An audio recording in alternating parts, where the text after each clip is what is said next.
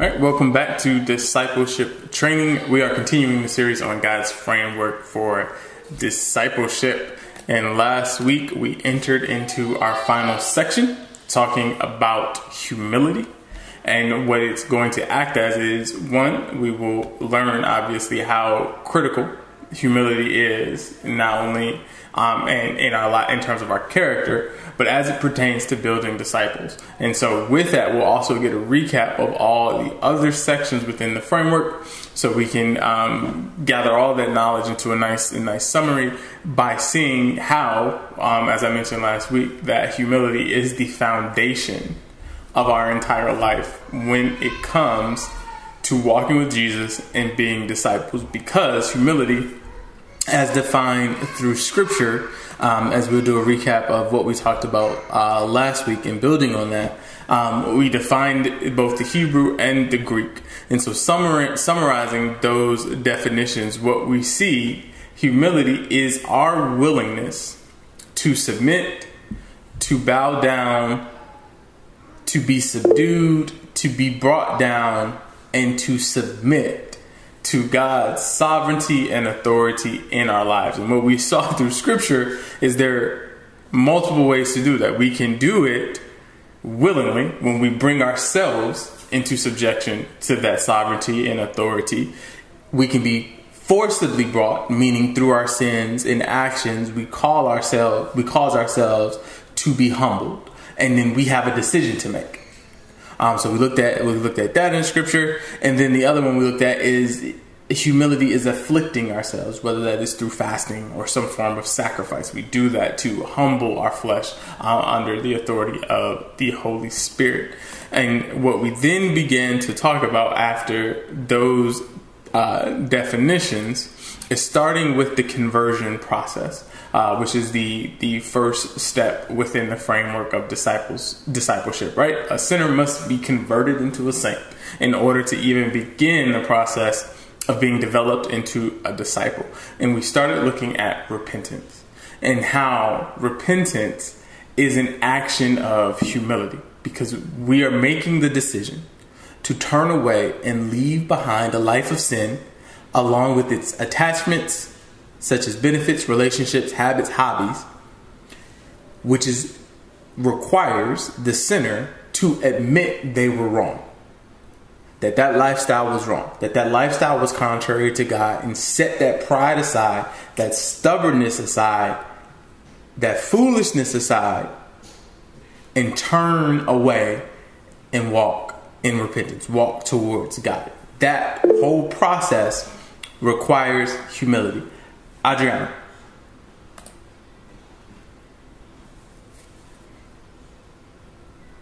Sorry, that was an accident. Good morning, everyone. Oh, good morning.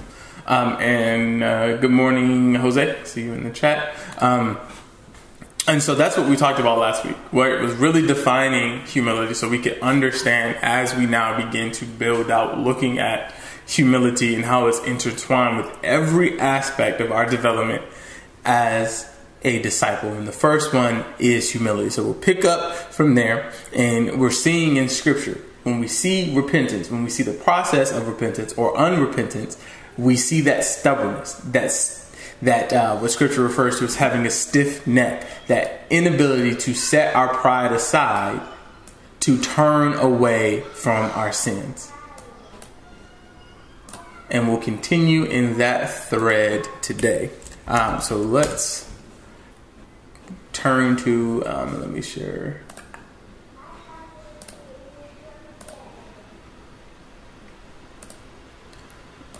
so let's turn to Romans 2 and 5. And we're actually going to look at that in the complete Jewish Bible. So we are looking at Romans chapter 2, verse 5 in the complete Jewish Bible. But by your stubbornness, by your unrepentant heart, you are storing up anger for yourself on the day of anger when God's righteous judgment will be revealed. So, what we want to see in this scripture is the, the heart posture, the stubbornness and the unrepentance it is tied together. It's that that that pride, that that that mindset of I won't be moved. I won't um, change my mind when presented with compelling information, compelling arguments. That's really what stubbornness is. Is you are presented with a compelling argument and you in your mindset, nope, I don't believe you. I don't accept it. Or I'm not going I'm not going to do that. All of that is centered in a spirit, a spirit of pride where you think higher of yourself and your self-importance when compared to Jesus that I am unwilling to submit. I am unwilling to bow down. I am unwilling to bend the knee. So when we're talking about as a, as a step of conversion, that first critical step of repentance, a person who's prideful and stubborn and arrogant and haughty, they will not repent. Point blank period. Because it requires you willingly. So even if you're suffering, as we saw in scripture, due, due to your stubbornness, due to your pride, due to operating in sin, you are suffering. You are being persecuted. You are being judged as a result of your sin. You still, in that moment, have to make the decision to repent. And we saw that when we looked at the scriptures about the children of Israel as a nation that oftentimes when they when they strayed away from God in their stubbornness and their pride, they were humbled by being afflicted, by being oppressed, by being attacked, but they still had to make the decision to repent, to ask for forgiveness, to turn away from that sin and walk uprightly before God. So let's continue and we're going to look at a few more scriptures. And then we're going to see even more steps within the repentant, repentance process that still requires us to humble ourselves. We have to willingly submit to repentance. So let's go to Isaiah chapter 55, and we're going to read verses 6 and 7. And we're going to look at that in the New Living Translation.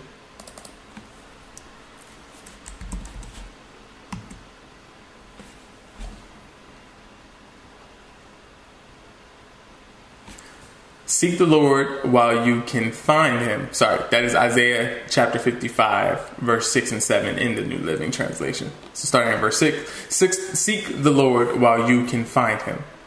Call on him now while he is near. Let the wicked change their ways and banish the very thought of doing wrong. Let them turn to the Lord that he may have mercy on them Yes, turn to our God, for he will forgive generously. So, what this passage of scripture, what we see is, is the decision, the process of making, of opting in to repentance. Making the decision while it is available to you. But you have to change your ways. You have to make the decision that banish the very thought of doing wrong. You have to make decision to turn to the Lord, to ask forgiveness. And I think one of the things that uh, the the church as an entity as a whole has done a poor job is of teaching that repentance is not just a feeling you have. It is not just a emotional response it is a decision that you are making. And that decision is rooted in humility because you are willingly doing these steps that Isaiah is talking about. You are willingly saying, Lord, I was wrong. I was operating contrary to your word. I was operating contrary to your commandments. I was operating contrary to your character, to what you desire. I was living a lifestyle of sin. You have to admit you were wrong. That's how you make a decision to then turn away. If I never acknowledge, if I never humble myself and admit what I was doing was wrong, it was sin, I will turn back to it. And I just remember when Tramiko taught about repentance, right? That was one of the things we were talking about with people still struggling with the sin after going through the born again process is because they never truly repented. They never made that decision to say, I am done with that lifestyle. And part of that is the humility, humility to admit that that lifestyle is sinful and that it is wrong to live in. It is wrong to operate in. It is wrong to participate in. But stubbornness and pride will keep us operating in those things because we, we, we never made the decision to humble ourselves, to willingly submit our knee, willingly to bow down, willingly to put ourselves to submission to God's way. That's the conversation we need to be having about repentance. So when we're building disciples and we're talking about how integrated humility is, we, as more senior disciples, when we're discipling others, that's what we need to be discerning. Do you have a spirit of pride or are you operating in the spirit of humility? Because if you're operating in a spirit of pride, repentance is going to be an issue for you. All right, let's look at another scripture. So let's go to, we're going to stay in the New Living Translation and we're going to read James chapter 4, verse 8. So we're staying in the New Living Translation, reading James chapter 4, verse 8. Come close to God, and God will come close to you. Wash your hands, you sinners. Purify your hearts, for your loyalty is divided between God and the world. The decision. What are you going to decide to place your loyalty in? So what we're really seeing with these with these scriptures is there is a crossroad well, not a crossroad, a fork in the road. You have to make a decision. You can't walk both ways. So when it comes to repentance, that's why humility is so important. It's because in saying no to sin and saying no to the world, you are saying yes to God. But saying no to God means you're saying yes to the world. There's no maybe in between, right? There's no there's no line that you can walk. There's no fence that you can sit on. You are either with God or against God. That's the way we have to look at the decision. And so when I'm presented with the option, will you choose to turn away? Will you choose to walk away? Humility my willingness to say yes. That's where it comes from. That's the humility. That's operating in humility. My willingness to say yes. Not my will, but thine will be done. Submit the knee. To subjugate myself under God's authority. To live in unison and in righteousness and holiness with God you must repent. You can't have one without the other. And that is what really boggles the mind is society that is what they're preaching and teaching is that you can have both. Right? You just cover with grace, you cover with mercy and you're all good. You you don't have to fully commit. Why? Because you're only human, right? We all make mistakes. All for all have sinned and come short of the glory of God. But when we look at scripture, that is not what is taught about repentance. It is it is taught as two one-way roads going in different directions.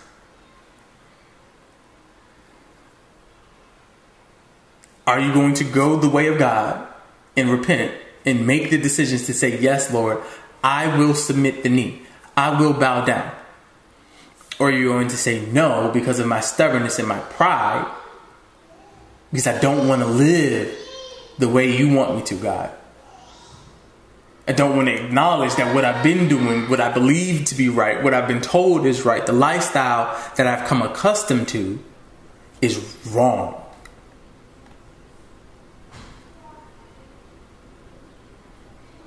And that's really where that pride and stubbornness comes into place. Is admitting I am wrong. My hobbies, they are contrary to the word of God, therefore they are sin. The words that I use are contrary to the word of God, therefore they are sin. The lifestyle that I participate is contrary to the word of God, therefore it is sin. That's the decision that's on the table with repentance.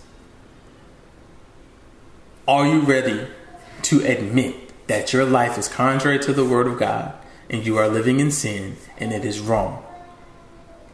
And you are submitting yourself to the authority of God, which then means the lifestyle that I need to lead has to line up with what He says. My character has to line up to what He says. My thought processes, my worldview, my habits, my hobbies, the things that I participate in have to be in right standing with God. Am I willing to make that decision? All right, let's look at one more passage of scripture and I'll open it up for questions and discussion. Um, so let's go to Matthew chapter 21, verse 28 through 32. And we're going to look at that in the New King James Version. So, Matthew chapter 21, verse 28 through 32, and we're looking at that, looking at that in the New King James Version. But what do you think? A man had two sons, and he came to the first and said, Son, go work today in my vineyard. He answered and said, I will not.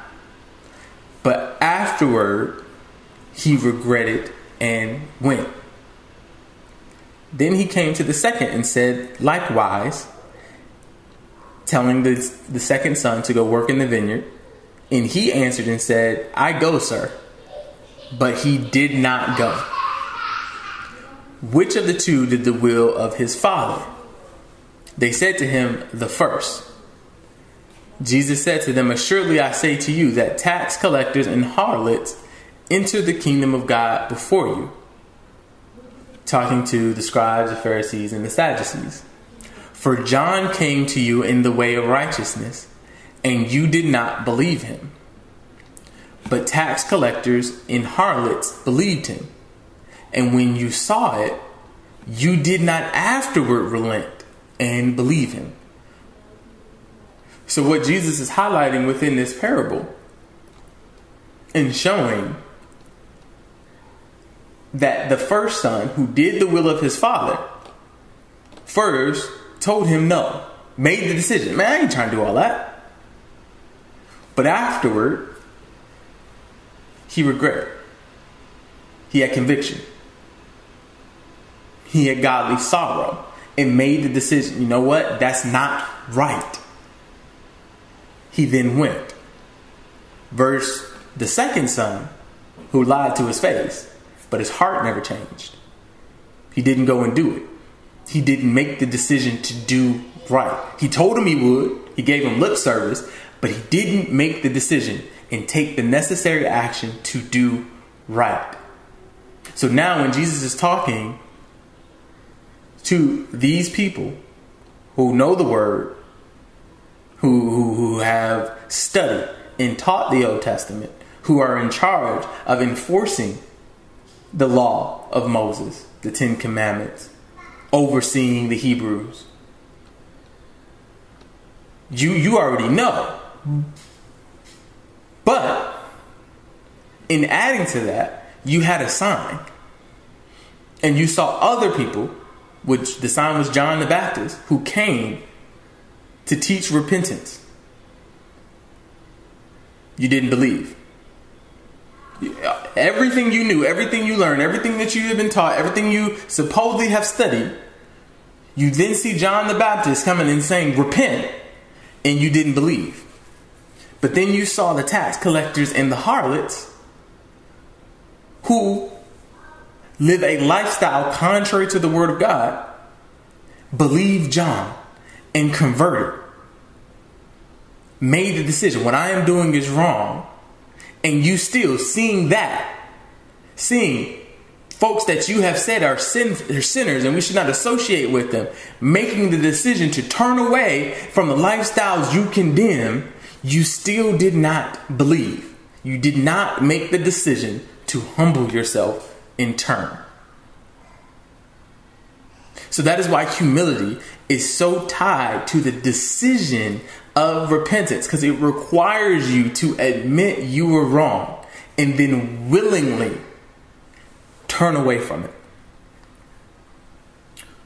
So, question for um, when now looking at it,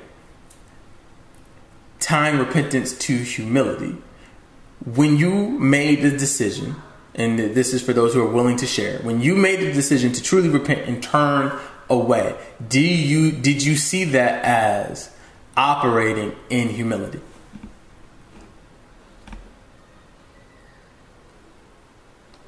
No, I didn't. When I when I did it, nope, I didn't. Why not? I just thought like, oh, I don't want to listen to the Lord. Like I didn't think of it as like humbling myself or like humbling in any way or being, you know, yeah. I mean, pretty much just that. I just didn't think of it as that. Like that's not what comes to my mind when I was thinking about repenting uh, for any sins I was doing. Yeah, I mean, it's what the natural think of it. and so, after going through these scriptures, how do you look at it now?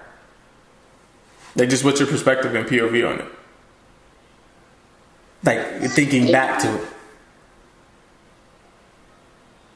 Wait, repeat the question. So after going through these scriptures, right, and what we've been talking about, like now reflecting back, does it connect the dots for you that oh I was operating in humility like I did make the decision that you know God what I am doing is wrong and I don't want to do that anymore I want to follow you yeah I think so i it does click like now because like I know some of like some of uh when I especially when I first came to the Lord and was repentant from them sins a lot of it was just like I don't want to go to hell and I want to listen to the Lord, but it, like a lot of it was I don't want to go to hell. And then like as time progressed and it was like still sins I was struggling with, it then became like I want to respect you, Lord, especially when we're going through. Um, I think some of the previous lessons. I don't know. At this point, it could have been part of this lesson, just another subsection. I don't even know. But like you know, like not obeying him is not respecting him or showing him reverence. Yeah, yeah, showing him reverence, and it was like it became that over time of oh, I'm not, I'm not respecting, I'm not showing you reverence. I'm not respecting your words. Like I'm not, of course, like being obedient and stuff. And then it became, I want to do that for you because I want you to be the the head of my life and who I'm obeying more than anything. Um, and now it's like, yeah, I want to listen to his words. So, yes, yeah, I think the answer is yes. no, great. Anyone else want to share? Uh, I do want to say uh, it's it, it, it is a a huge difference from when you started to once you continue your path. Um, now is my understanding, like to me, it, we live in this lifestyle to be like Jesus, just because when, I know when we pass on, we will still have our, our same like, if I'm saying this right, mindset. Our same mindset, as in like, he won't be controlling us to do good in the new world, if that makes sense because we we're, we're trying to create this behavior, not create like have the same um, lifestyle as Jesus in the new world. Like that makes sense. well, so we'll we won't have so. Um, and Tramiko, correct me if I'm wrong if I'm not understanding the question, but in the second Earth, we won't. For us that are alive now, and transition in the sense of either dying and going to heaven and then coming back with Jesus or being raptured up, we won't be in our mortal bodies. So we won't be subjected to the types of temptation and issues that we deal with now as human beings. Right. So yeah. So when we go to be with Him and wait in heaven, we will not have our mortal bodies, and then when He gives us bodies again, it will be the um, the glorified body. So it won't be a body of sin. So we won't have those struggles. Correct.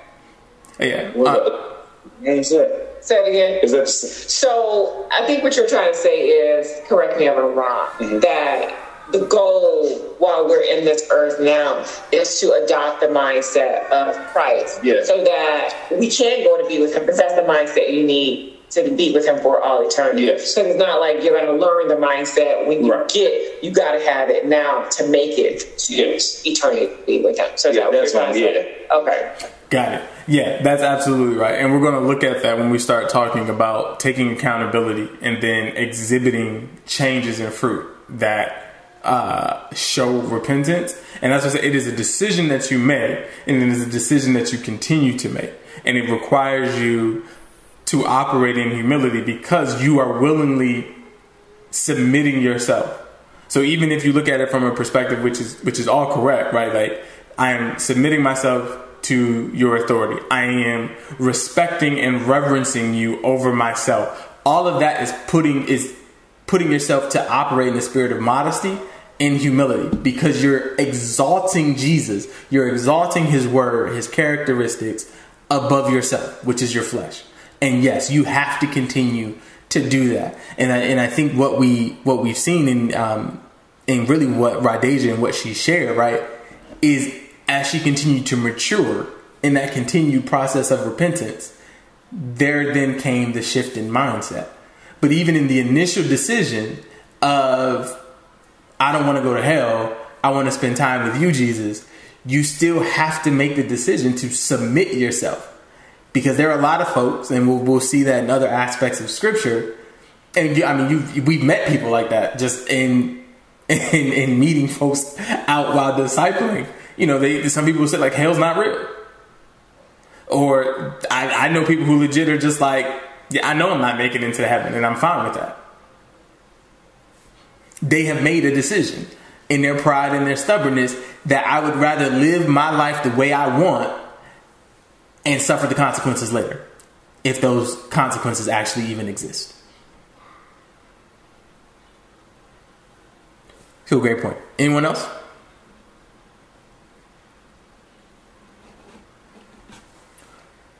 All right, so let's continue to look at.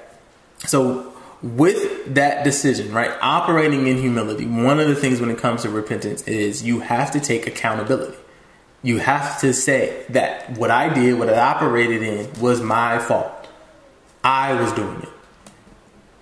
Accountability is a part of repentance. You can't put that onto someone else. Someone else is not responsible for your sins. You have to be accountable for your own actions. So let's look at that in scripture. So let's go to Proverbs chapter 28, verse 13.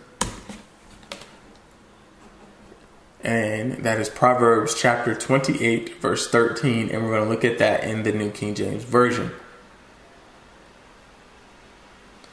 He who covers his sin will not prosper, but whoever confesses and forsakes them will have mercy.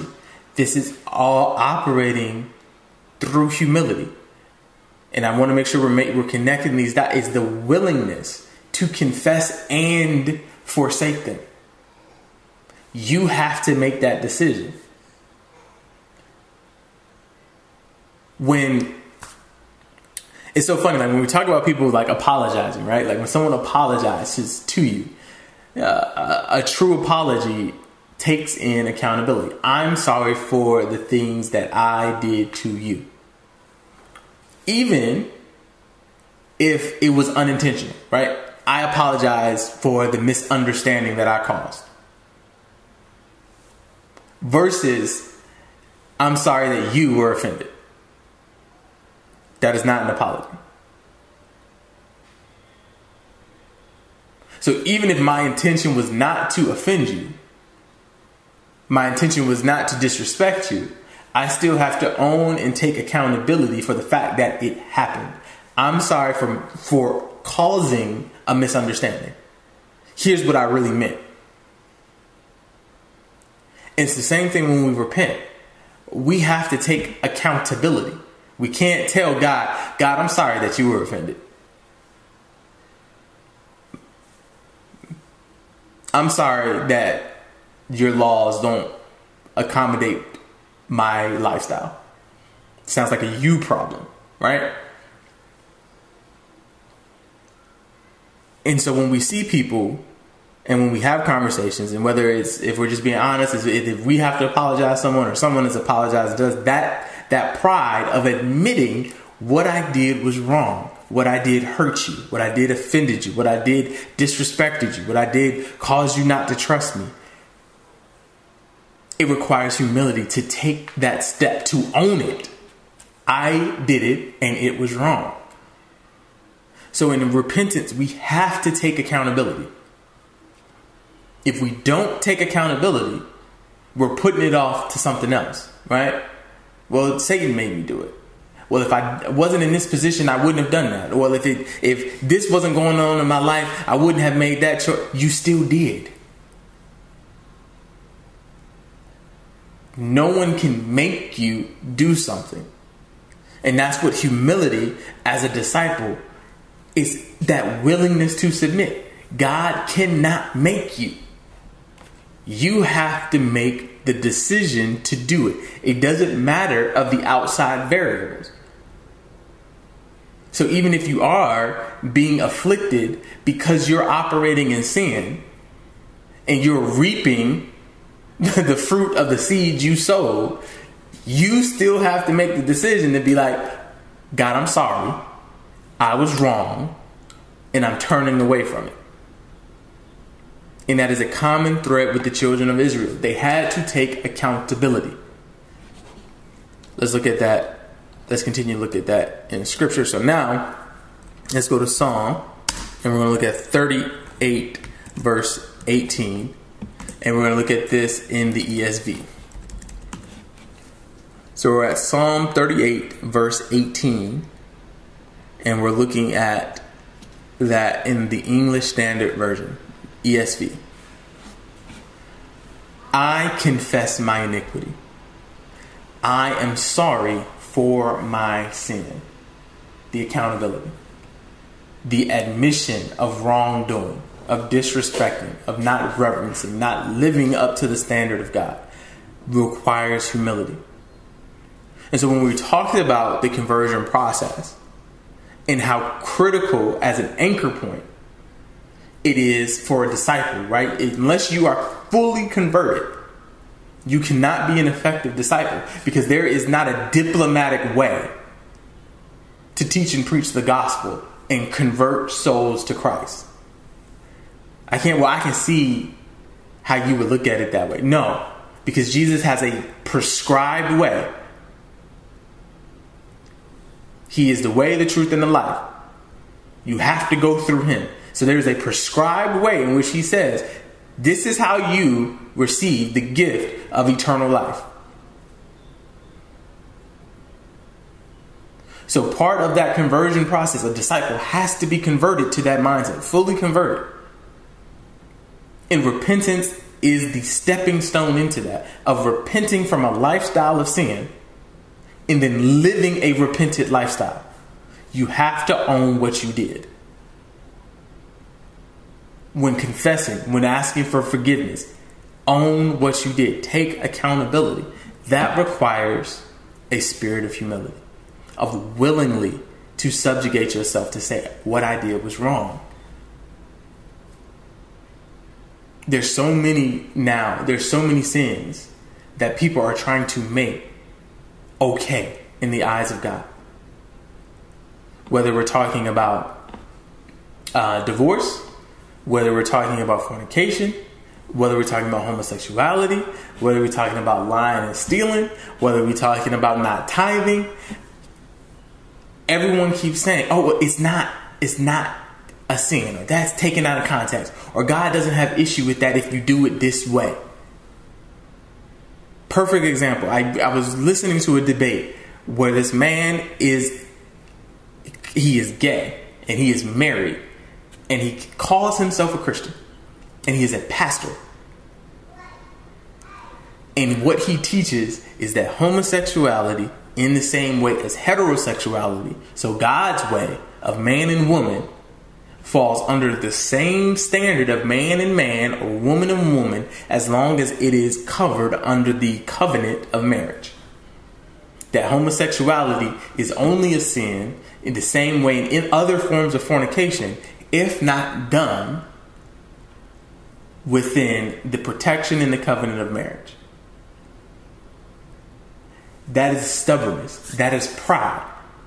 Because instead of just simply saying, my lifestyle is contrary to the word of God, owning the fact that my habits, my lifestyle choices, my decisions is sin and I need to repent of it, no, I'm going to manipulate God's word to fit it in. How prideful and stubborn do you need to be to say that, to, to put yourself in the position to say, no, God, what you said is wrong. This is what it needs to be to accommodate to a modern society. That's why humility is so important to repentance. And we have to look at it from that sense of taking accountability is making a decision to, I was wrong. I own that. What I did was wrong. I own that. What I did was contrary to the word of God. If you can't do that, you can't move forward into repentance because you're going to come back to it again. All right, let's look at one more scripture. So let's go to Psalm 51, and we're going to read that verse 1 through 4, and we're going to stay in the English Standard Version. So we're looking at Psalm 51, 1 verse 4, verses 1 through 4, and the English Standard Version. Have mercy on me, O God, according to your steadfast love, according to your abundant mercy. Blot out my transgressions. Wash me thoroughly from my iniquity, and cleanse me from my sin. For I know my transgressions, and my sin is ever before me. Against you, you only have I sinned and done what is evil in your sight, so that you may be justified in your words and blameless in your judgment. That is a call for forgiveness and repentance. So here we see that this, this is a prayer asking for forgiveness. And in every aspect of this prayer, it is about what I did my transgressions, my iniquity, my sin. I did this to you, God. I sinned against you, Lord.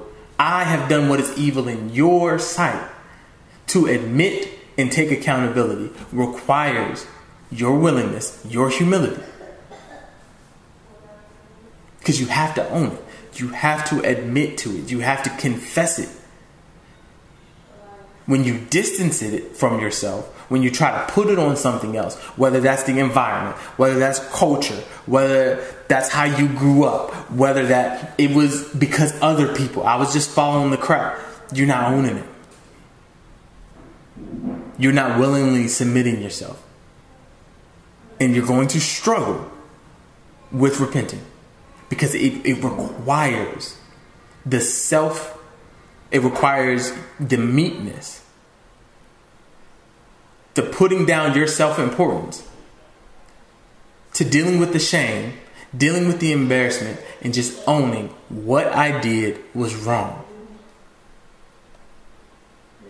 And so when we're talking about developing disciples and looking specifically at humility, it starts with the day one process of repenting.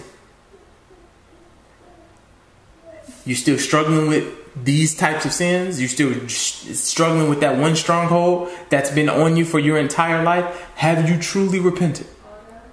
Have you owned and taken accountability for the sin that you did? And are you now of the mindset of willingly submitting it to God? Thoughts, questions, comments um, before we go to uh, actions.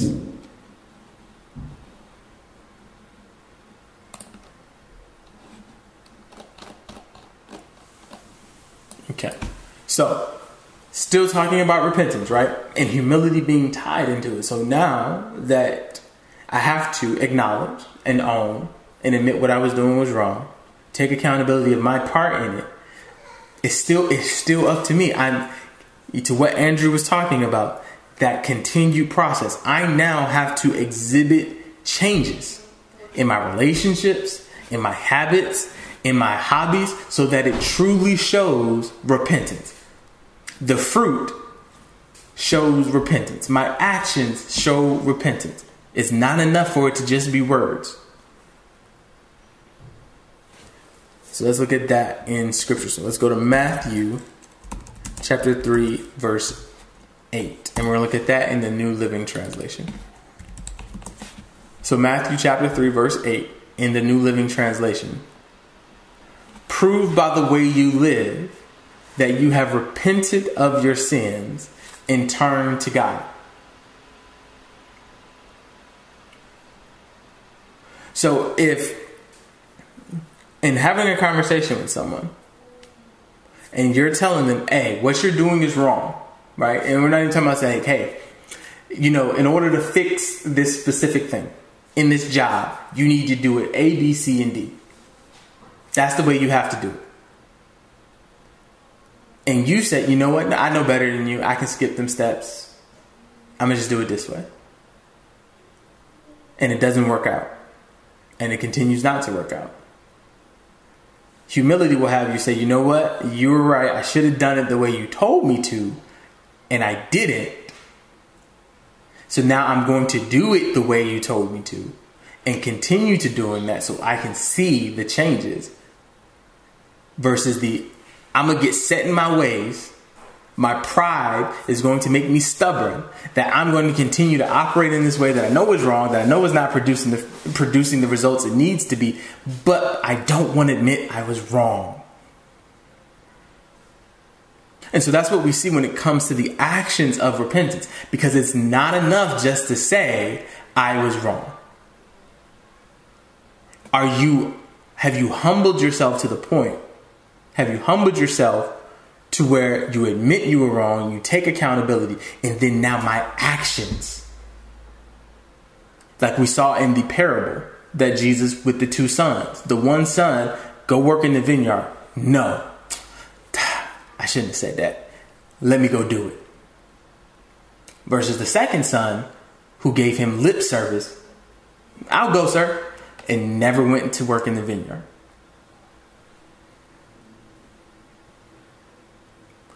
Are we operating to where we can see the repentance that we give with our mouth, the forgiveness that we request with our mouth, the confession that we do with our mouth?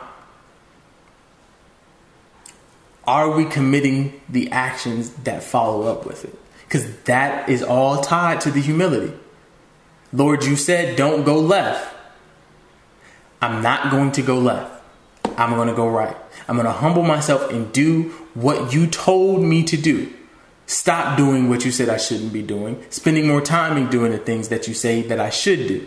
And that's what we see in scripture.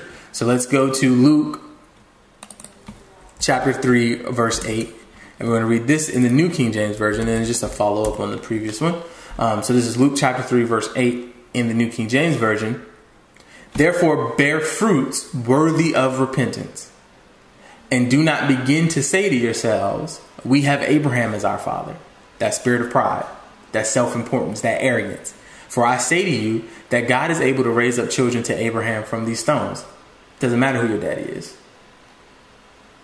See that that's the mindset of someone who is prideful and stare and, and, and stubborn. That that's that self righteousness, that self importance. I don't have to do what other people do. And that was the mindset of the scribes, the Pharisees, and the Sadducees that they kept bringing up. We are the heirs of Abraham. From God's perspective, that ain't got nothing to do with what I'm telling you to do. If anything, it's an indictment. Because you should know better. Because if you truly were the sons of Abraham, you would live like Abraham lived. That's the difference in the actions, the mindset of someone who is prideful. They're not going to repent. They may say it with their mouths, but it won't reflect in their actions because it requires fully submitting. It requires fully subjecting yourself.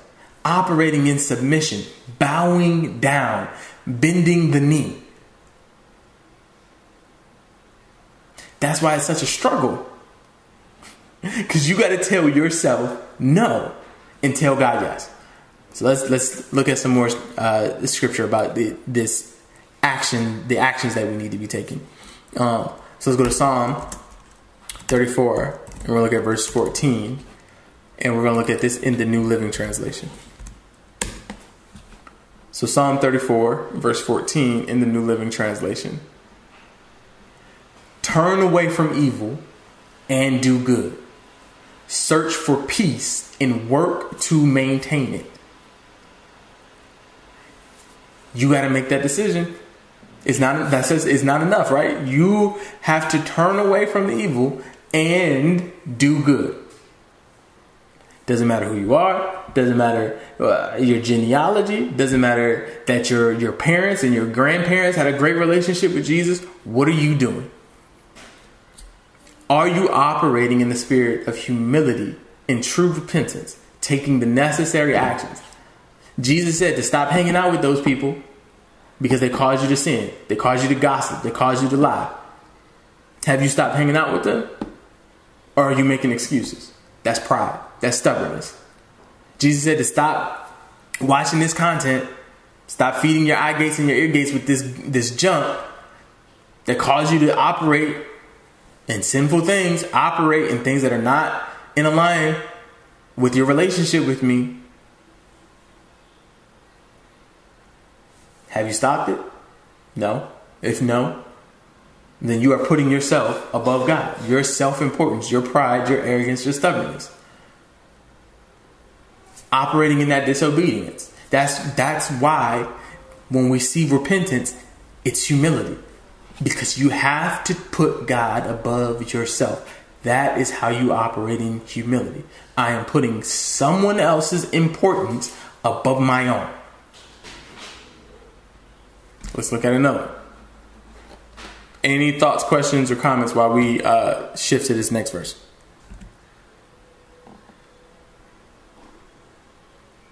Which one this is? I think this is Ezekiel. Yeah. Um, so we're going to go to Ezekiel. Just had to make sure it wasn't Ezra. so we're going to go to Ezekiel chapter 18, verse 21 through 23. And we're going to look at that in the New King James Version. And we're just going to continue to keep seeing that when it comes to repentance, it takes action. It's a decision you make that is carried out through your actions and changes in your lifestyle. So we're looking at Ezekiel chapter 18, verse 21 through 23. But if a wicked man turns from all his sins which he has committed, keeps all my statutes, and does what is lawful and right, he shall surely live, surely live, he shall not die. None of the transgressions which he has committed shall be remembered against him. Because of the righteousness which he has done, he shall live. Do I have any pleasure at all that the wicked should die, says the Lord God, and not that he should turn from his ways and live. The wicked man, the sinner, the evil man has to take action, has to turn away, has to confess, has to take accountability, and then live a lifestyle that is pleasing to the eyes of God. Does does no longer operate and participate and do what is wicked, but keeps the statutes of God does what is lawful and right. That spirit of humility, that that's where you're operating in. Because you're continuing to say to God, not my will, Lord, but thine will be done. I'm not participating in those things anymore. I'm not doing that. I'm not hanging out with those people. I'm changing my habits. I'm changing my hobbies because you are more important. Going back to what Ray Deja was talking, that reverence, that respect, you are more important than the pleasures of my flesh. The attachments and benefits that I got from sin. This is the conversation we're talking about with repentance. When a person is struggling with repentance, it is they are operating in a spirit of pride. Because they are saying, Lord, my my needs, my flesh, my carnal needs, my carnal desires, they are more important than you. You aren't important enough for me to make the decision to sub- submit myself, to submit my flesh to you. All right, let's look at a few more. So let's go to Matthew chapter 5, verse 29 through 30. And we're going to stay in the New King James for that.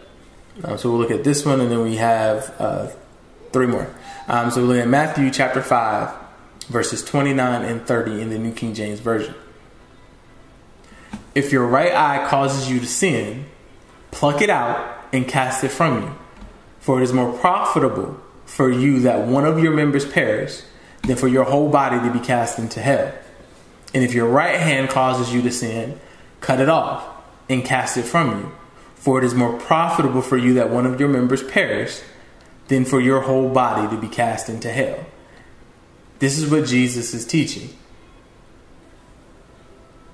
Operating in repentance requires an action of you. It requires for you to take steps to change your behaviors, the things that you participate in, the people that you hang around with. If it is causing you to sin, it has to go.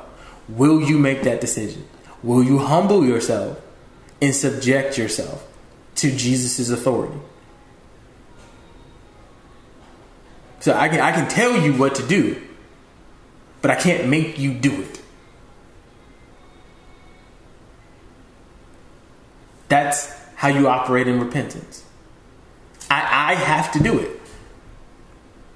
Jesus told me, hey, if there is literally, this is the commandment. If, if there is something that is causing you to sin, it is better to sacrifice whatever that thing is and live than for it to cause you to be tossed into hell.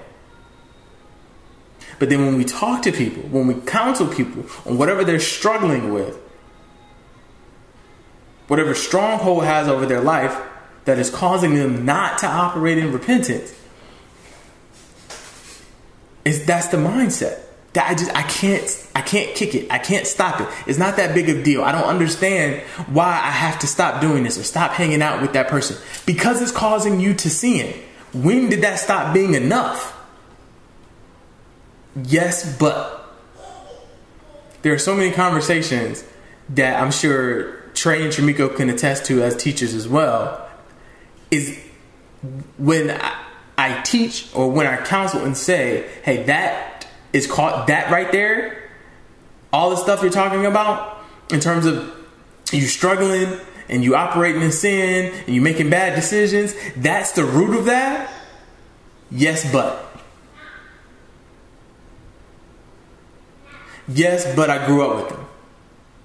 Yes, but I don't understand why I can't do that. Yes, but that doesn't seem realistic. You operating in pride. That's what it comes down to. Because you're saying whatever that yes but is, that is more important than Jesus. Because what should be enough is that it is causing you to sin. That's the only why you should need. Thoughts, questions there before we go to uh, the next verse.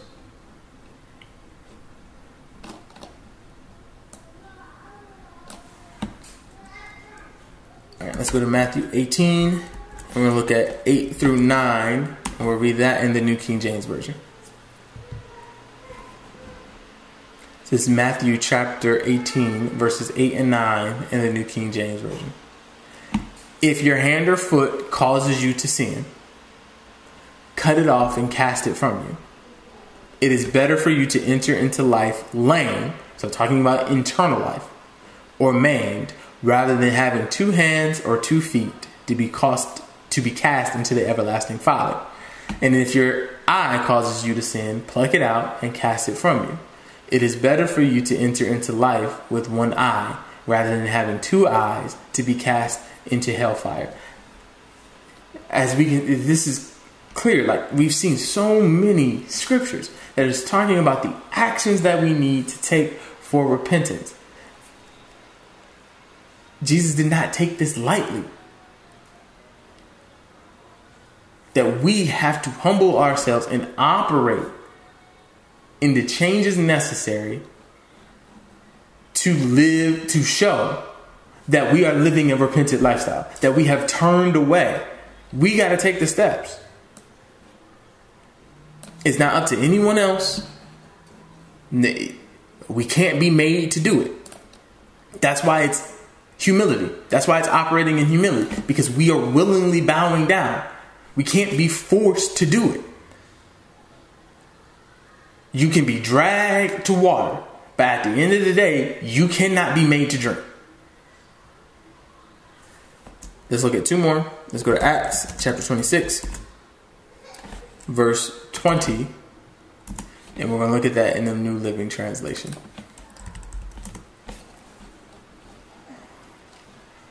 So that's Acts chapter 6, 26, verse 20 in the New Living Translation.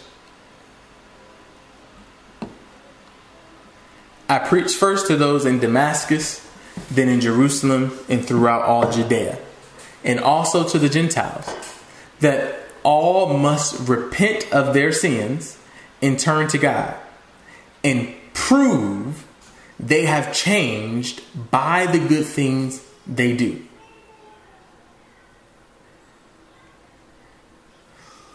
Words are not enough. You have to prove through your actions that you have changed and take the necessary steps to make sure that you're marching towards that. That means I got to put me down and put God up. I got to humble myself and exalt Jesus. What I want to do is irrelevant. The benefits I got from it is irrelevant. The fact that it's pleasing to my flesh is irrelevant. Is it pleasing to God? All right, one more. Let's go to Ephesians chapter 4, verse 27. I'm going to look at that in the New King James Version. This is Ephesians chapter 24. Sorry, Ephesians chapter 4, verse 27 in the New King James Version. So that's Ephesians chapter 4, verse 27 in the New King James Version. Nor give place to the devil. So actually, let me just read that in context.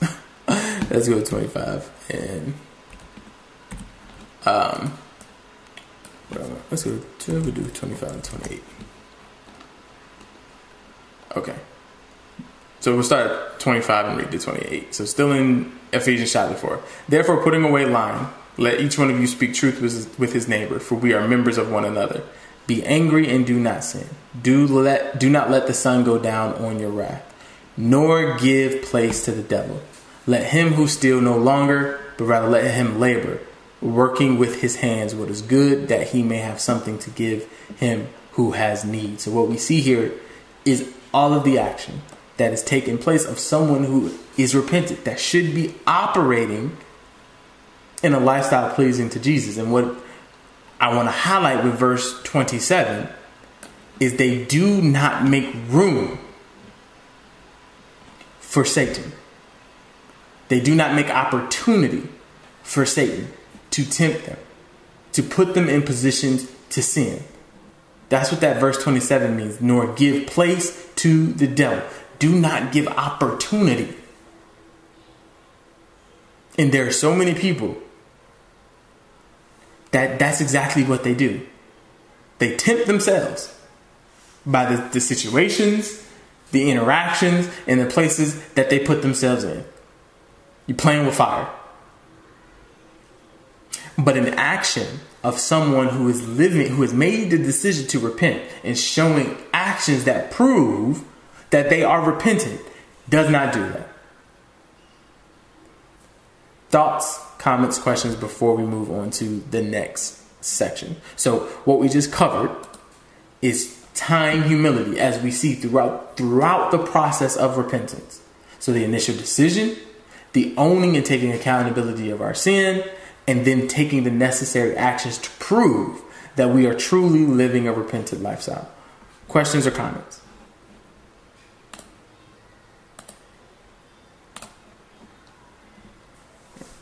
No, this is not. Close it out.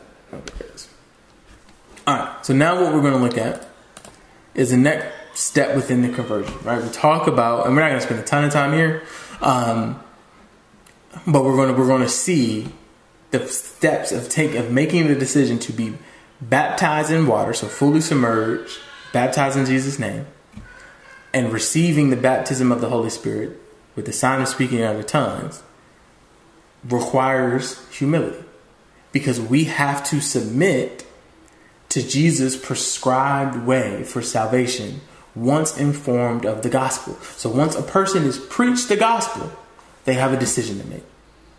And so we're going to focus on one, two, three, four, five. We're going to look at five examples where we see that they are positioned with the decision. They have a decision to make. They have been preached the gospel, and they can, in their pride and arrogance, say, "No, I'm not turning. I'm not turning, and I'm not going through this. I'm not going through the baptism process. I don't need it. It's not required for salvation. Whatever argument you want to use." Or they willingly submit themselves to it. Um, so let's start with Hebrews chapter 3 and we're going to read verses 7 through 15 in the New King James Version. And we're going to start here so we can see the heart position. Is it one of humility or is it one of pride and stubbornness and stiff neckedness? so, Hebrews chapter 3, verses 7 through 15. Therefore, as the Holy Spirit says, today, if you will hear his voice, do not harden your hearts as in the rebellion in the day of trial in the wilderness, where your fathers tested me, tried me, and saw my works 40 years. Therefore, I was angry with that generation and said, They always go astray in their heart, and they have not known my ways. So I swore in my wrath, They shall not enter my rest. Beware, brethren, lest there be in any of you an evil heart of unbelief in departing from the living God, but exhort one another daily while it is called today, lest any of you be hardened through the deceitfulness of sin. For we have become partakers of Christ if we hold the beginning of our confidence steadfast to the end. While it is said, Today, if you will hear his voice, do not harden your heart as in the rebellion. So specifically, this is addressed to believers who happen to be Hebrew. That's why it's referencing to their forefathers. And so when we're talking about disciples and humility as a necessity, it's from the same mindset. And we can tie it, that principle, we can tie to baptism and Holy and the receipt of the Holy Spirit. Is do not harden your heart. So for a person who is going through the conversion process, when you feel the conviction, when you hear the voice of the Lord, because we know that God speaks to those who are sinners to draw them to repentance and draw them into baptism, harden not your heart. The same principle applies. Do not make the decision to resist out of pride, arrogance, and stubbornness and harden your heart against God. Every one of us, when we were sinners, had to make that decision. Whether if it was a course over years or one experience when we were just in the right place, right time at church, there was a conviction that happened. There was an opportunity presented.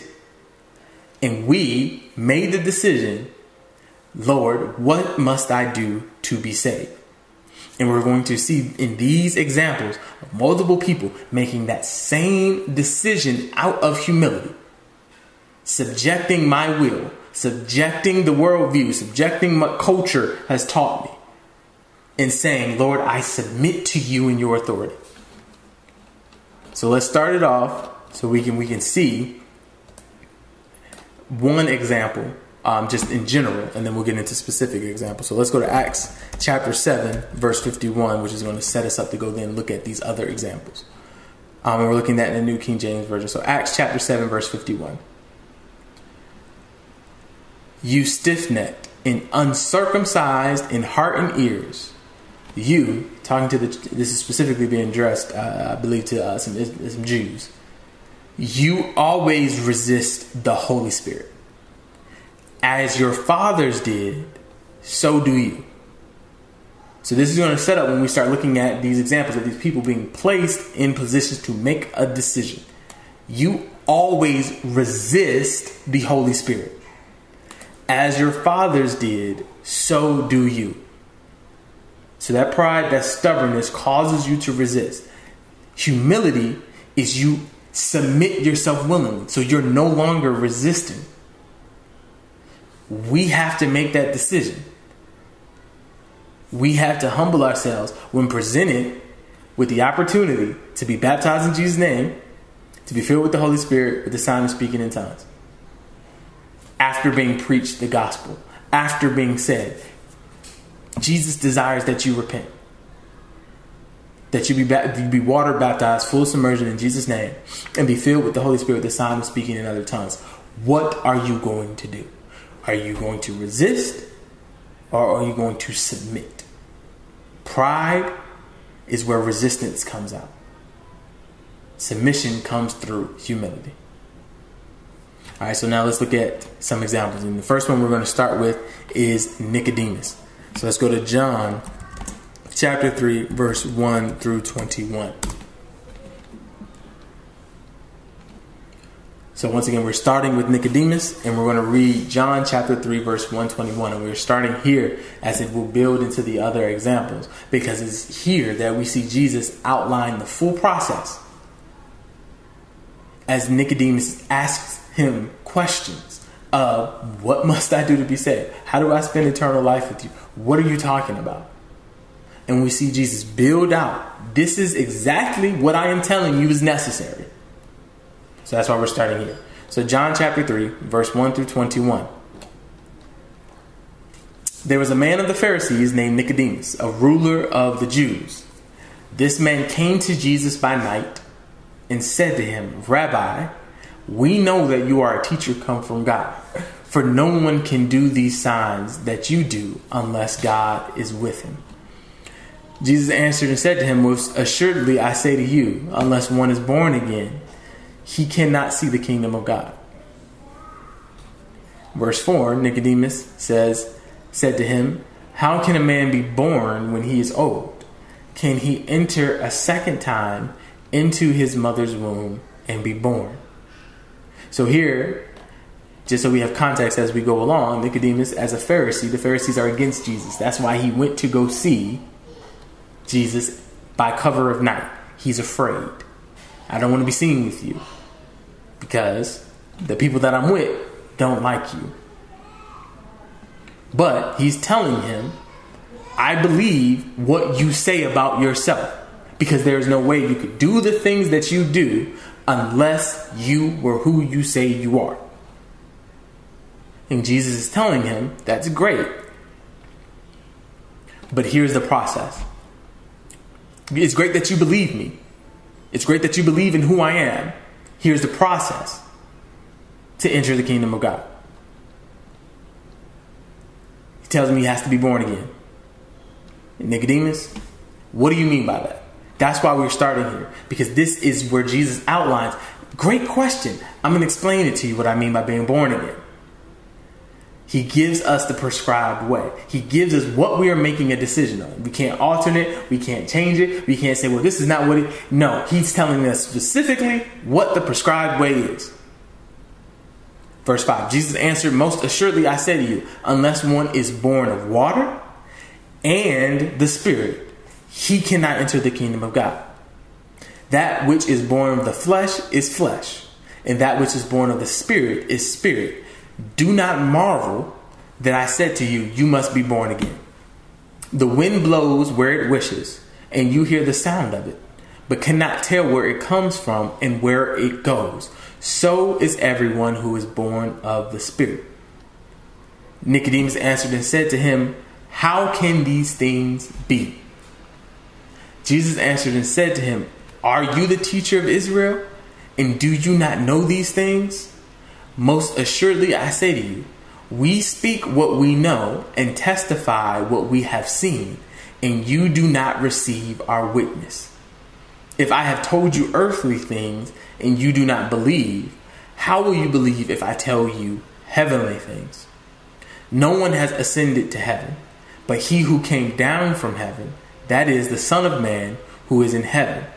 And as Moses lifted up the serpent in the wilderness, even so must the Son of Man be lifted up, that whoever believes in him should not perish, but have eternal life. For God so loved the world that he gave his only begotten Son that whoever believes in him should not perish, but have everlasting life. For God did not send his Son into the world to condemn the world, but that the world through him might be saved. He who believes in him is not condemned, but he who does not believe is condemned already, because he has not believed in the name of the only begotten Son of God. And this is the condemnation that the light, and this is the condemnation that the light has come into the world, and men love darkness rather than light, because their deeds were evil. For everyone practicing evil hates the light, and does not come to the light, lest his deeds should be exposed. But he who does the truth comes to the light, that his deeds may be clearly seen, that they have been done in God. So Jesus literally walks Nicodemus through the fulfillment of the Old Testament. That's why he asked him, Are you not a teacher of Israel? So what walks him through that Jesus is the fulfillment of the prophets, and then walks him through the gospel. That here's the why. But how you access this is you have to be born of water and born of spirit in the name of Jesus. So Nicodemus gets the gets the full picture. And so we can look at that at this conversation and say and point to this is the prescribed way. This is what Jesus said was necessary. That we have to be born of water, full submersion, baptized of water in Jesus' name, and filled with the Holy Spirit with the sign of speaking in other tongues in order to have access to the kingdom of God. There's no other way around it. So now we have a decision to make. Will we resist, as what we saw in Acts 7:51? Will we resist, or will we submit? And so we're going to look at the first. We'll look at the uh, first example of this decision being made, and then we'll wrap up for today. So let's go to Acts. We're going to stay in Acts. So we're going to look at a couple of different verses. So we're going to go to Acts chapter 2. Acts chapter 2. And we're going to read verses 5 through 28. And then 36 through 46 in the New King James Version. So Acts chapter 2, verses 5 through 28 and then 36 through 46.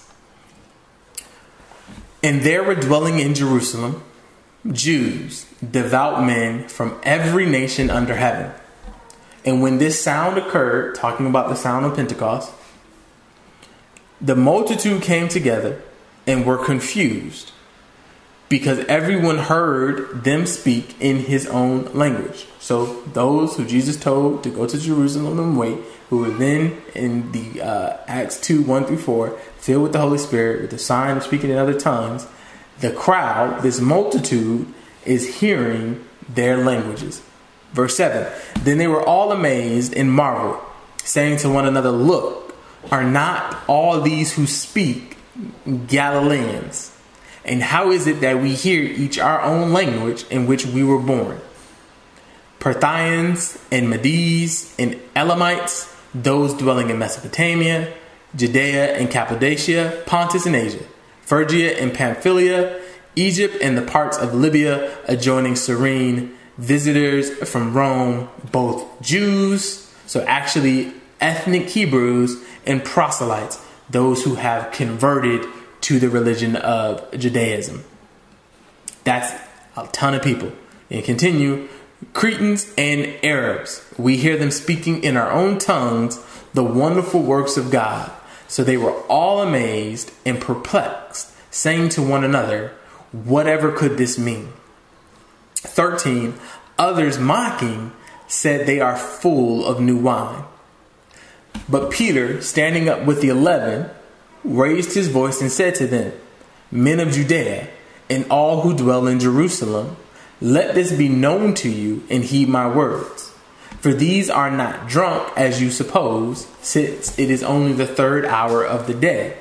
But this is what was spoken by the prophet Joel. And it shall come to pass in the last days, says God, that I will pour out of my spirit on all flesh. Your sons and your daughters shall prophesy. Your young man shall see visions. Your old men shall dream dreams. And on my men servants and on my maid servants I will pour out my spirit in those days, and they shall prophesy. I will show wonders in heaven above, and signs in the earth beneath blood and fire and vapor of smoke. The sun shall be turned into darkness, and the moon into blood, before the coming of the great and awesome day of the Lord. And it shall come to pass that whoever calls on the name of the Lord shall be saved. Men of Israel, hear these words Jesus of Nazareth, a man attested by God to you by miracles, wonders, and signs, which God do through him, did through him in your midst, as you yourselves also know.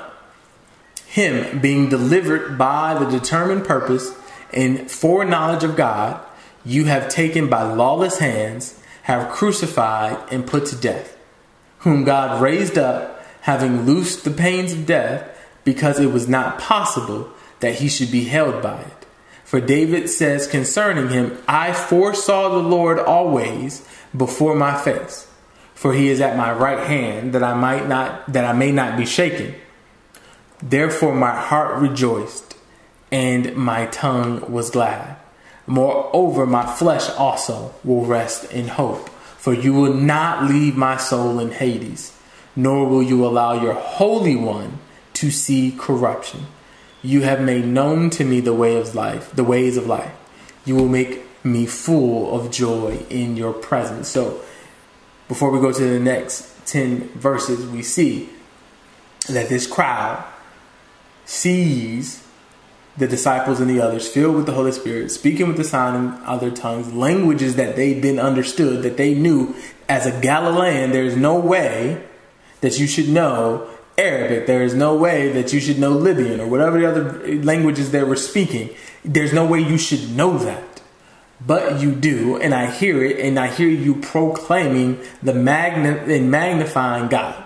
So then Peter stands up and he preached and it, it continues to go on, but he preaches the gospel. He preaches who Jesus is, the manifestation of God the Father in the flesh, the fulfillment of the prophets, specifically referencing Joel, and that you, as Jews, crucified him, but he has been risen to new life. And he continues to go on as we go in verse 36 to 30, 36 to 46. Therefore, let all the house of Israel know assuredly that God has made this Jesus, whom you crucified, both Lord and Christ. Now, when they heard this, talking about the crowd, they were cut to the heart. Remember what we talked about in Hebrews 3 7 through 15. Not hardening your heart. They are not yet filled with the Holy Spirit, but they are convicted.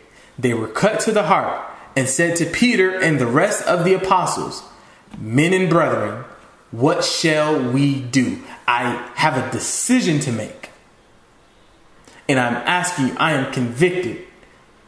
I have been cut to the heart. I want to know more about this Jesus you speak of. What is it that I need to do?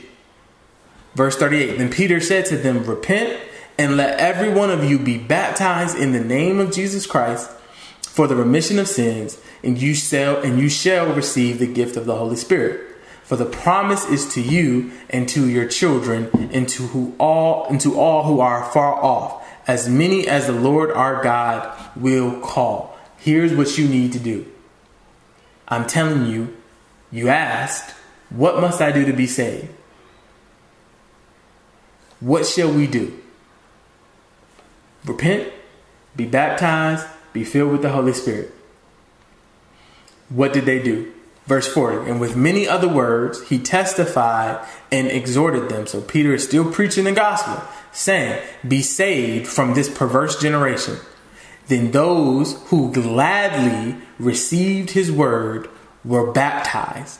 And that day, about 3,000 souls were added to them.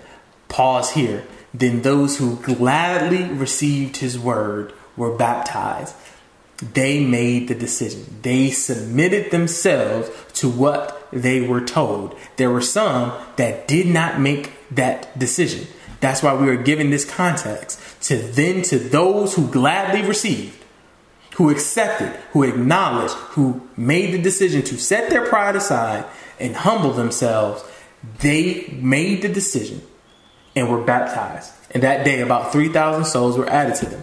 Verse 42 And they continued steadfastly in the apostles' doctrine and fellowship, in the breaking of bread, and in prayers. Then fear came upon every soul, and many wonders and signs were done through the apostles. Now all who believed were together and had all things in common, and sold their possessions and goods, and divided them among all as anyone had need so continuing daily with one accord in the temple and breaking bread from house to house. They ate their food with gladness and simplicity of heart. So, when presented with the opportunity to repent, to be baptized, and filled with the Holy Spirit, they made a decision to submit themselves to Jesus' prescribed way and his authority rather than resisting it through pride and stubbornness. Thoughts, questions, comments?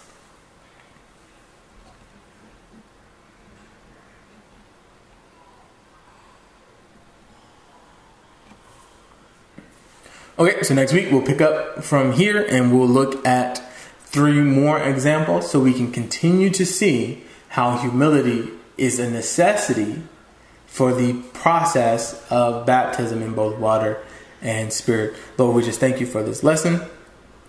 Um, we appreciate, oh God, the word that has come forth and that it will fall on good ground to those who have heard it.